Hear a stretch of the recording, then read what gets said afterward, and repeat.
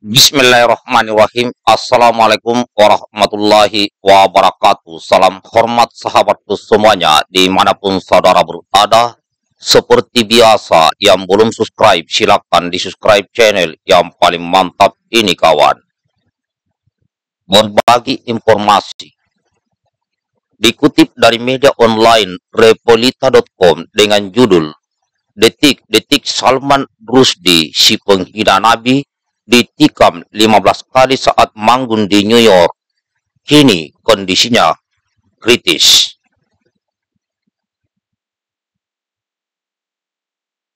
Salman Rushdie, seorang penulis buku yang penuh kontroversi The Satanic Verses atau ayat-ayat setan ditikam 15 kali saat dirinya manggung di sebuah acara di Chautauqua, New York pada Jumat 12 Agustus 2022 waktu setempat.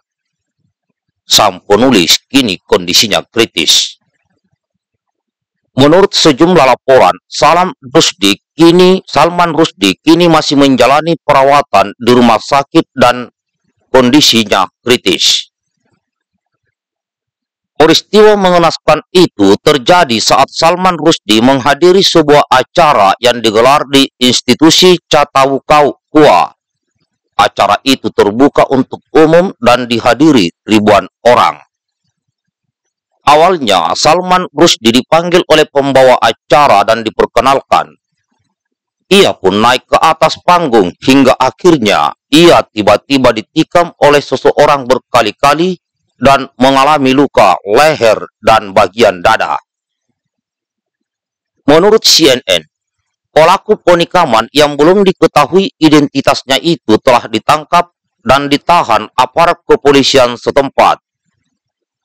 Akibat insiden penikaman itu, panggung acara yang merupakan acara sastra itu pun berubah jadi panggung berdarah. Orang-orang yang hadir berlarian ketakutan keluar acara. Petugas yang langsung bergerak berhasil menangkap pelaku tak lama kemudian agen Salman Rusdi yang, yang mengurus penerbitan karya-karyanya mengatakan, kondisi Salman Rusdi belum stabil dan masih dirawat intensif di rumah sakit. Menurutnya, organ tubuh sang penulis mengalami kerusakan parah dan berpotensi cedera permanen. Dari beberapa laporan lainnya dalam peristiwa itu, disebut bukan saja Salman Rusdi yang mendapatkan serangan, namun juga moderator acara bernama Henry Rees, 73 tahun. Ia dilaporkan mengalami cedera di bagian wajah dan juga dirawat di rumah sakit. Seorang jurnalis AP yang menyaksikan penikaman Salman Rushdie itu mengungkapkan, serangan berdarah itu berlangsung amat cepat, sekitar 20 detik. Sosok Salman Rushdie Salman Rushdie dikenal sebagai penulis, yang sayangnya banyak menuai kecaman khususnya dari kalangan negara muslim karena tulisannya yang penuh kontroversi. Yang paling terkenal adalah tulisannya dalam buku ayat-ayat setan. Karyanya ini banyak dilarang beredar di banyak negara mayoritas muslim karena dianggap menghina sosok Nabi Muhammad Sallallahu Alaihi Wasallam. Dalam buku karangannya itu, Salman Rushdie menceritakan tokoh bernama Mahon yang banyak disebut merujuk pada nama Muhammad. Iran resmi melarang buku ayat-ayat setan pada tahun 1988. Bahkan setahun setelahnya, pemimpin Iran Ayatullah Khomeini sampai mengeluarkan fatwa Salman Rushdie halal untuk dibunuh. Iran juga menawarkan imbalan hingga 3 juta dolar Amerika Serikat bagi siapa saja yang berhasil mencabut nyawa Salman Rushdie. Salman Rushdie lahir dari keluarga muslim India dan dia sudah menjadi warga negara Amerika Serikat sejak tahun 2016 dan tinggal di New York. Awalnya ia sempat tinggal di Inggris, kemudian bersembunyi di New York hingga mendapatkan status warga negara Amerika Serikat sempat jarang muncul ke publik dan menggunakan nama samaran.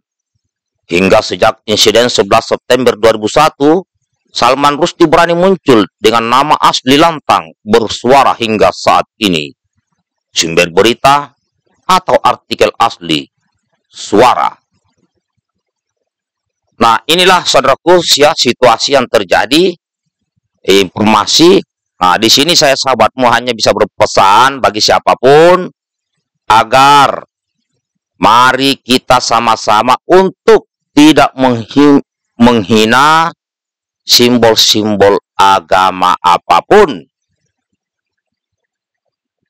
Saya di sini melalui media ini hanya bisa mengingatkan untuk tetap menjaga kerukunan antar umat beragama di mana pun kita berada di seluruh dunia. Sibuklah mempelajari ajaran agama masing-masing, keyakinan masing-masing, setelah itu sibuklah mempraktekkan ajaran agama itu dalam kehidupan sehari-hari. Maka insya Allah kedamaian akan terwujud bagi mereka-mereka yang menjalankan ajaran agama dengan baik dan benar.